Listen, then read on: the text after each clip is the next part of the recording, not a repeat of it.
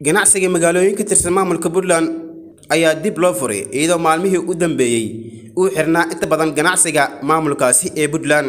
Qaar ka mid ah ganacsatada magaalada boosaaso ee gobolka bari ayaa sheegay in furitaanka suuqyada uu yimid kadib markii amar uu ku bixiyey madaxweynaha puntland siciid cabdulaahi deni in la furo ganacsiga lana qaado lacagaha shilinka soomaaliga ah bangiga ay geeyaan wixii doolar hayaan la isku bedelo marka runtii qodobkaas aniga muhiim bii la noqdo shakhsiyan in waxa weeye bangigu lacagtii u bedelo uu sarifo sarifkii la xareeyo.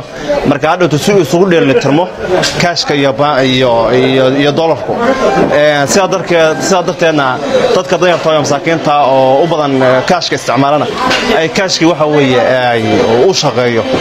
Waxaa layidhi madaxa meel ka sarraysoo la taabta ma jiraan. Mudane madaxweyne aad baad u mahadsantahay waa qaadannay waxa weeye go'aankaa soo jeedisay.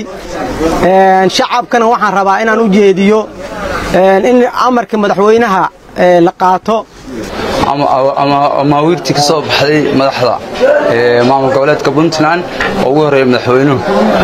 Runtii hadalka badin mayo waxaan leeyahay madaxweynuhu waa salaaman yahay. Shacabka puntland waxaanu soo dhoweynaynaa go'aanka madaxweynaha ka soo baxay puntland. Haddaanu nahay dhallinyarada ka ganacsata ee suuqa waanu soo dhoweynaynaa go'aanka madaxweynaha. Waad u jeedaan saaka annagu waanu noo furan yahay suuqayga meheradayga waa noo furan yihiin. Welina waxa waaye waxaan ka war sugaynaa naguma filna hadalka uu madaxweynuhu ku hadlay waxaa nugu filan digreeto soo baxda oo cad oo lagu bayaaninayo inay doolarku bangiga qaadanayo kaashkana qaadanayo. Maanta waa jeedaan suuq wuu furan yahay. Waxa weeyaan maanta suuq waa adeeganayna dhammaan suuq waa furan yahay. Waxa kaliya xidhan waxa weeye shirkadaha waaweynaa kaliya xidhan. Ganacsiga yaraa kale waa furan yahay.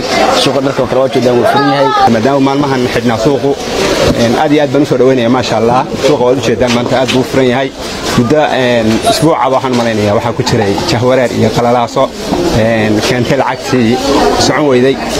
Sidaa darteed marka waxaan soo dhoweynayaa. Go'aankii ka soo baxay madaxweynaha. Furitaanka ganacsiga magaalada boosaaso ayaa waxa uu ku soo aadayaa kadib markii madaxweyne deni uu amar ku bixiyey in la furo ganacsiga. Oo maalmihii u dambeeyey hakad galay diiditaanka lacagaha shilinka soomaaliga awgii. Zakariya cusmaan cabdi raadiyaha iyo telefishinka city magaalada jawar